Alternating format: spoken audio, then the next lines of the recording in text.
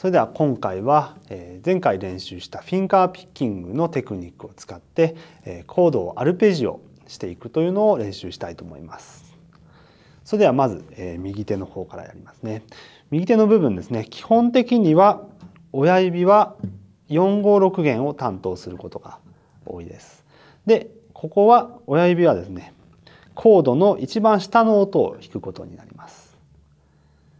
で他の IMA 人差し指中指薬指は基本的には32弦2弦1弦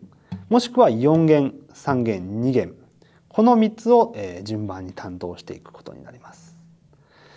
ここでは、えー、C のコードを使って練習をしたいと思います。C のコードは一番低い音は5弦この音ですね。この音を親指で弾いて残りの上の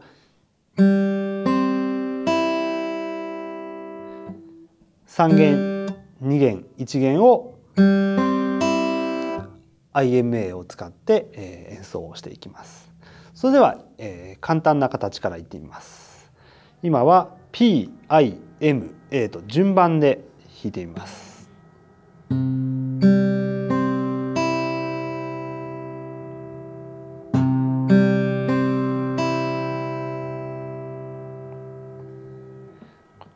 れは前回もやりましたけれどもなるべく右手がぶれないようにですね指の力だけで弾けるようにこれを心がけます。あとどうしてもですねこの薬指っていうのはあまり強い指ではないので、えー、どうしても弱くなりがちなんですけれどもこの薬指担当するのは一番高い弦なので一番高い音の出る弦なのでなるべく弱くならないようにですねちょっと力を入れて演奏してあげるとバランスが取りやすいかなと思います。それでは今度は反対のパターンで下がってくるパターンをやります。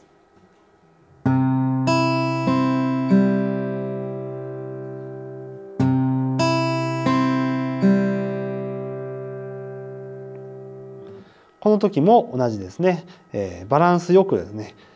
A の指 M の指 I の指が、えー、音量がですねバラバラにならないようにしてあげます。それでは今度はもう少し複雑な形を練習したいと思います。今度は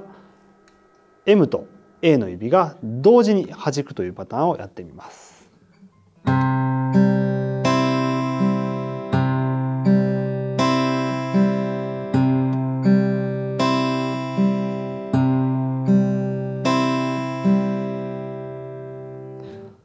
今使ったのは親指人差し指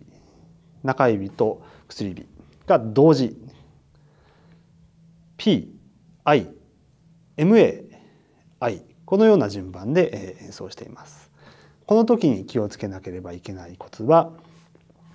M と A は同時に音が出るように。このようにばらけないように。演奏するというのを心がけて練習をしてみてください。もう一度弾きます。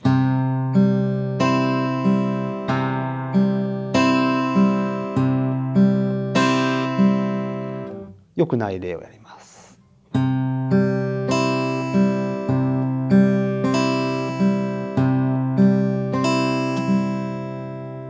このように、えー、ばらけないようにしっかりですね MA の指を同時に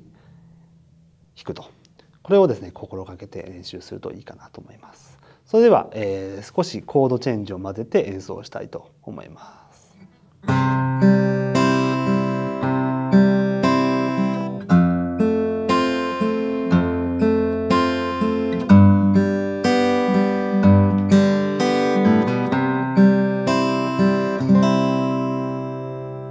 このような形で、えー、常にですね親指人差し指中指が弦のところから外れないようにですね、えー、しっかり弦を捉えて演奏するというのを心がけて、えー、アルペジオ練習をしてみてください。